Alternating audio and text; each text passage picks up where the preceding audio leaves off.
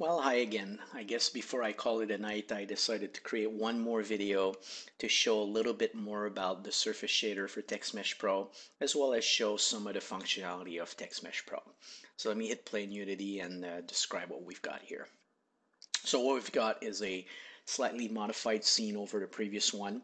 Uh, we've got three spotlights, red, green, and blue, uh, basically that are sweeping from left to right. Uh, they're basically illuminating here this text object created by TextMesh Pro uh, inside the scene. So uh, if you're unfamiliar with TextMesh Pro, TextMesh Pro is a tool, it's an add-on that we're creating for Unity uh, that will become available on the asset store as soon as it's completed. Uh, TextMesh Pro was designed to be a straight replacement for Unity's built-in text mesh. The goal is to provide all the functionality that you find with text mesh, but to also provide added features and functions. The goal was also to deliver all these features and functions at an equal, if not better performance than Unity's built-in text mesh. Now, TextMesh Pro, uh, much like TextMesh, works with standard bitmap font textures slash atlas, but the tool was also designed uh, specifically to work with a distance field uh, texture slash font atlas. Now, the advantage of a distance field uh, system is that if I zoom in, for example, to my text, you can see that as I zoom in, my text still remains super sharp and super crisp if you look at the borders. But if I zoom back out, it still looks super nice and super clean at any distance. So unlike a bitmap font where you basically have to generate different sizes of that bitmap uh, with a distance field based system, we only generate one atlas of one size and then it fits for any other size. So this particular atlas is a 512 by 512 uh, distance field texture. Uh, this is for Arial font. The other advantage with distance field is unlike a bitmap, if you wanted to add a border, uh, texture your font and so on and so forth, you would have to go in Photoshop or whatever your favorite uh, paint program is and create and alter this font atlas. Well, in the case of a distance field system, I only need this atlas once and then I can tweak it to your heart's content. I can change the face, the border thickness, and all of that dynamically. Now, however, before I go in and show more about that, I just want to go back and describe the scene in the surface shader. Um, so when you look at what's going on right now is I'm showing a preview of the surface shader for TextMesh Pro. Um, TextMesh Pro will come with different shaders. Some of them are uh, to be used with normal bitmap fonts, uh, vertex lit, for example, much like TextMesh provides, where the object is lit by, you know, it's vertex lit, it doesn't cast shadows, and it's unaffected by scene lighting. Um, so both our bitmap shaders and our basic vertex lit surface uh, distance field shader will behave the same way where the, the object will live within the scene and be unaffected by lighting. But we also thought it would be pretty cool if we provided a surface shader where now your text could actually be affected by scene lighting, cast shadows on objects like you can see in the back here, the ease casting shadows, and so on and so forth. And we thought, you know, that would be kind of cool. So if I pan around, you can see that the object, you know, is behind the boxes. Uh, you can see the shadows on the ground. If I move to the back of the object, you can see there's no light in the back, so it's not being light uh, or lit. Uh, if I actually turn on a light back here, oops, wrong light, uh, but you can actually see that it's being, um, this annoying fast sweeping blue light is actually lighting the back of the object. Um, so we have you know, the object is clearly affected by scene lighting. Now it's being occluded by the boxes and so on and so forth. Now, although it lives in the scene, obviously it's a, you know, it's a flat plane. Um, and, and most of you will have the text, you know, flat displayed for UI and so on and so forth. But we thought, hey, it's kind of cool that it can live within a scene. Uh, let me actually move, make this object move a little bit just so we can see uh, what it looks like as it's spinning. You can see the shadows. Now you'll see the back you know, taking on or being affected by the scene lights, which is kind of neat. We stop that and reset its position. There you go. So now let's talk about the distance field stuff and some of the features of TextMesh Pro. Um, so TextMesh Pro was designed to obviously once you're in the editor, you can make all the tweaks you want and so on and so forth. But uh, we also wanted it to be dynamic, where via script you can change pretty much all the different properties and settings of your text and the tool.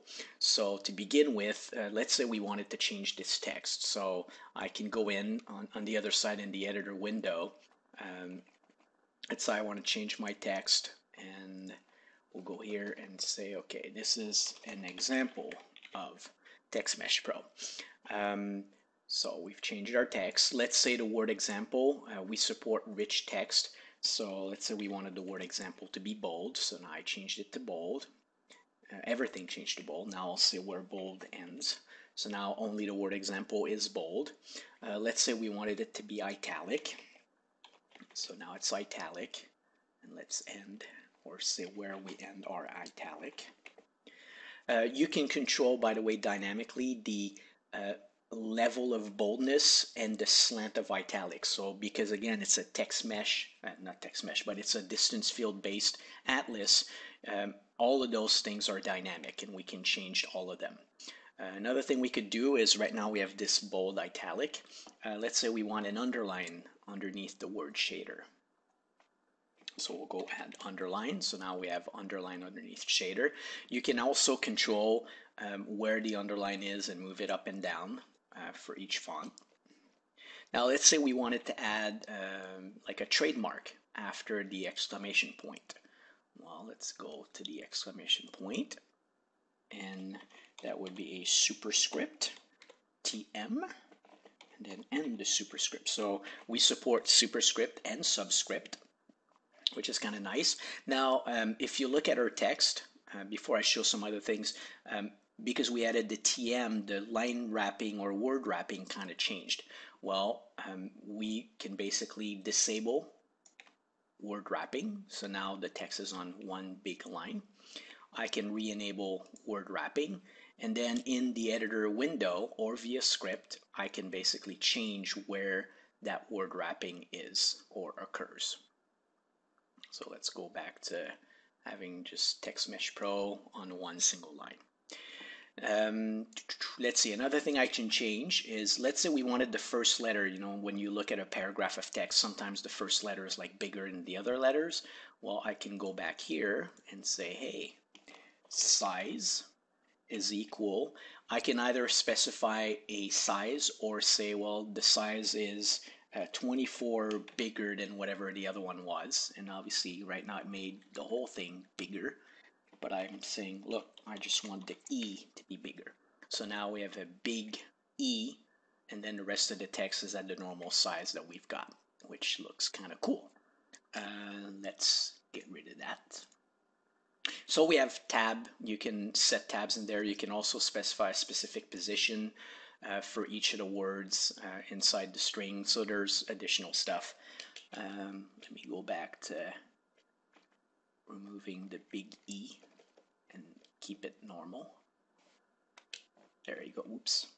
Example. In terms of the text, right now the text is centered. So I guess we'd like to have it left justified or centered or maybe right justified or maybe flush which I call justify. There we go. Let's go back to left. Actually, go back to center.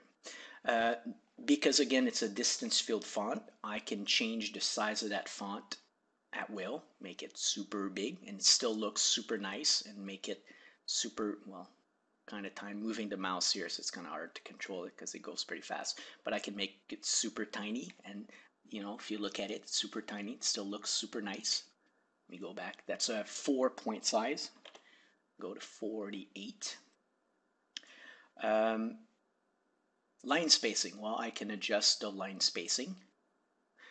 So as you uh, generate the font, and TextMesh Pro comes with a tool to generate your own uh, bitmap font atlas as well as your distance field atlas. Uh, when you do that, we support kerning, so you can choose to import the kerning pairs or not. Uh, if you choose not to import them, you can actually define your own kerning pairs inside of our tool. Um, so line spacing is one of the things that comes through the TTF file. Uh, but if you want, you can override the settings and change, for example, the line spacing. Let me go back to what the normal spacing is. Uh, character spacing, you can control the spacing between characters. Again, I'm moving the mouse so it, it goes pretty fast, but I can make it, you know, super wide, super whatever. So let's go back to normal. And let me go back here and I hit with my mouse the word wrapping. Let's go back to where we wanted it, right here. Let's see here. Uh, obviously, you can you can uh, change the anchor of the text object, you know, from top left, top, top right, center, whatever, all the different angles. Uh, let me turn off um, all the funky lights so you can see the normal text. Uh, so I'll disable all the lights. So now our text has no light on it. Well, it has whatever the ambient light is. And let me turn on a white light. So now we can see the text itself and whatever colors it has.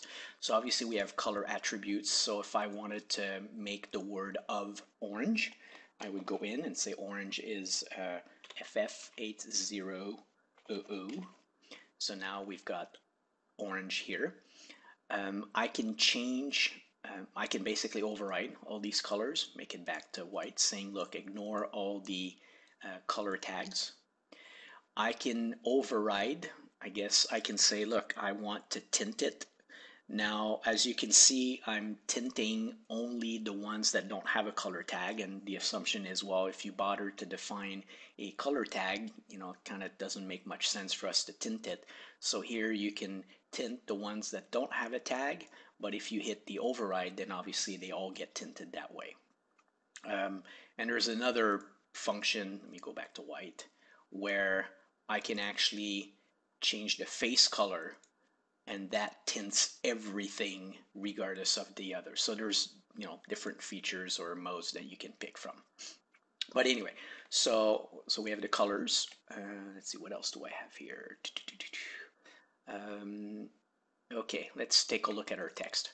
So here what we've got, I described the advantages of distance field. So let's say we wanted to change the border thickness. Well, I can go here and dynamically change the thickness of my border. Now, obviously, you know, there's a point where the text looks kind of weird, um, but let's make it like a tiny little border here. Um, now, right now with the shader, um, if I increase the size of border, you're going to see, uh, zoom right back here. If I increase the border, um, you'll see that eventually it kind of clips out over there. The border is too big for the, the text anyway. But this is just because we're using the surface shader right now. This, both the surface shader and the normal shader, the mesh expands to basic, basically make room for the border. Or if I go here, uh, you can see that the edge is really sharp. I can add softness to my contour you know, to make it blend in better. So as you add more softness and more border, then the mesh expands to make sure that the letter fits inside of it. Um, next, um, let's add a texture to the face of this uh, character. Uh, let's see, uh, let's add a nice brush metal. So you can see now we've added this brush metal texture. Looks kind of cool. Uh, let's change our border. Um, let's first change its color because right now it's black. So we can change the border color to anything we want. We'll make it white. And let's uh, give it a texture as well. So I could make it be, uh, let's see here. I'll pick this, some wood plank texture. It's a gray texture and let me make the border thicker. So you can see it's got a texture there. Uh, but let's pick a different texture because that one's kind of boring. I kind of like the cool orangey gradient texture. Let me make the border a little bit thinner. This makes for a cool looking font. Again, and this is the Arial font and I can I've never in any shape or form altered this distance field atlas. All I'm doing is changing these dynamic properties of the shader and our tool. So with the same distance field atlas, I can generate an unlimited number of permutations of look and for this different font style. Um, now, in addition to this, let's go back here. Um, let's say I wanted to add some beveling. Well, I can go back here and add beveling.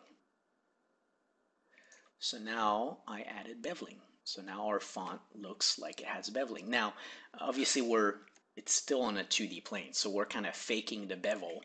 And and most of you, most people like me, um, you know, your text will live on your UI or somewhere on a flat plane, and and then the bevel looks bevel. And there's actually two bevel modes. There's an inner beveling and outer beveling, and you'll be able to pick between those two and adjust where the highlight will show up. Uh, the highlight's not working right on the surface shader, but it's there with the normal shader, the vertex slick one. But you'll be able to tweak all of that. Um, now let's see what else I wanted to show. Okay, let's let's switch fonts just for fun. Uh, we'll go to a thicker, fatter font like this guy and basically an example of TextMesh Pro, blah, blah, surface shaders below the ground. So we're going to change our word wrapping uh, to make it show up like this.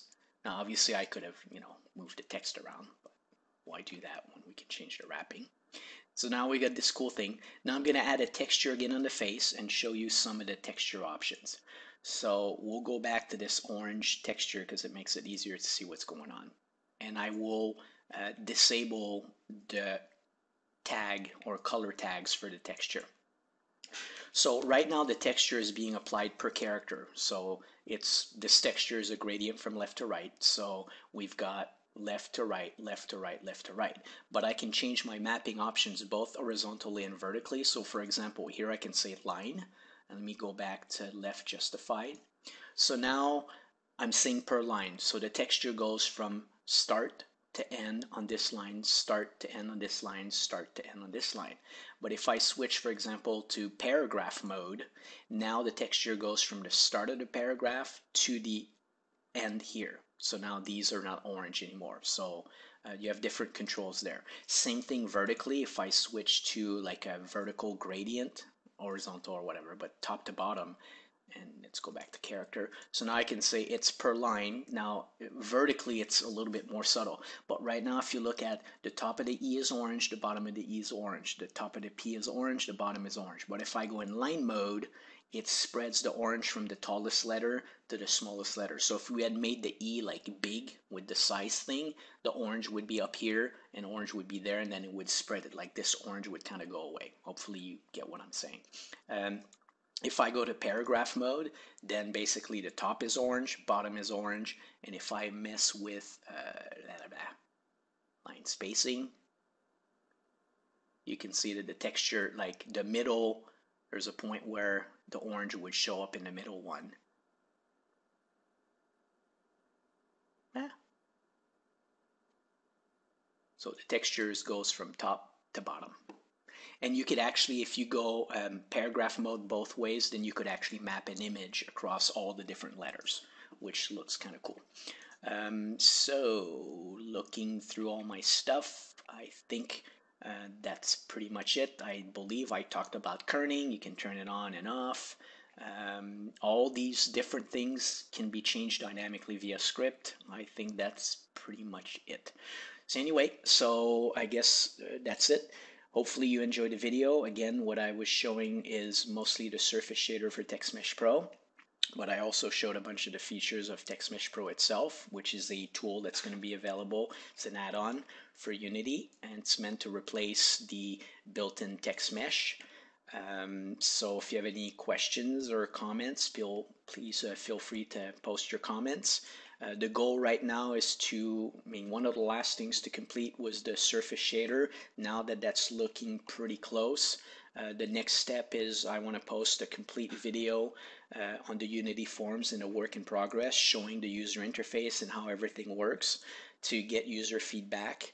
And uh, depending on the feedback, hopefully, if all the bells and whistles and the features that people want are in there, then the plan is to finish the tool and uh, put it up on the asset store for uh, everyone to purchase. So, once again, thanks for watching. Hope you enjoyed and have a good evening or a good day. Thanks. Bye bye.